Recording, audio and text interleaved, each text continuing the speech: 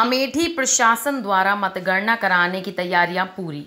ज़िले में फैली कोरोना महामारी से हो रहे हाहाकार के बीच आगामी 2 मई को त्रिस्तरीय पंचायत सामान्य निर्वाचन 2021 के तहत हुई मतदान की मतगणना कराई जाएगी।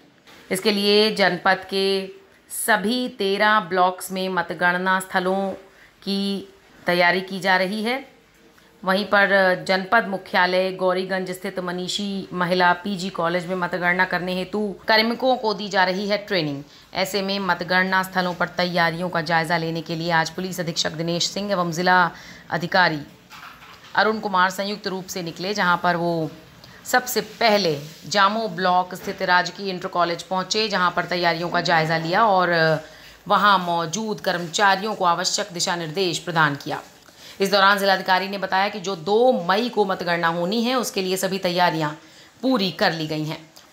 और सभी एसडीएम अपने अपने तहसील क्षेत्र में मतगणना स्थलों की तैयारियाँ पूरी करा रहे हैं। इसके लिए पूर्व में बैठकें की जा चुकी हैं। आज मेरे और पुलिस अधीक्षक महोदय के द्वारा निरीक्षण भी किया जा रहा है। कोविड 19 प्रोटोकॉल को लेकर उत्तर प्रदेश निर्वाचन आयोग द्वारा जारी गाइडलाइंस का पालन कराया जाएगा। अमेठी में दो तरह के मामले मौजूद हैं, जिसमें एक ऐसे मामले हैं जिनमें कई ग्राम पंचायतों के प्रत्याशियों की मृत्यु हो जाने के बाद वहाँ का चुनाव स्थगित करा दिया गया था। और वहीं पर दूसरे तरह का मामला है कि जहाँ पर कानून व्यवस्था बिगड़ने के कारण मतपेटियाँ गायब हुई थी और मतदान प्रभावित हुआ था। ऐसी जगह पर एक मई को पुनः मतदान कराया जाएगा। प्रत्याशियों की मृत्यु वाले स्थानों पर अलग से गाइडलाइंस जारी हुई हैं। वहीं मौके पर मौजूद पुलिस अधीक्षक ने बताया कि मतगणना के दौरान सुरक्षा की दृष्टि से हमने त्रिस्तरीय सुरक्षा व्यवस्था मुकम्मल की है। सभी वाहनों की पार्किंग हम दोनों तरफ़ बैरिकेटिंग कर 100 मीटर के बाहर खड़ी कराएँगे। यहाँ पर वही अभिकर्ता प्रवेश करेंगे जिनकी काउंटिंग चल रही होगी।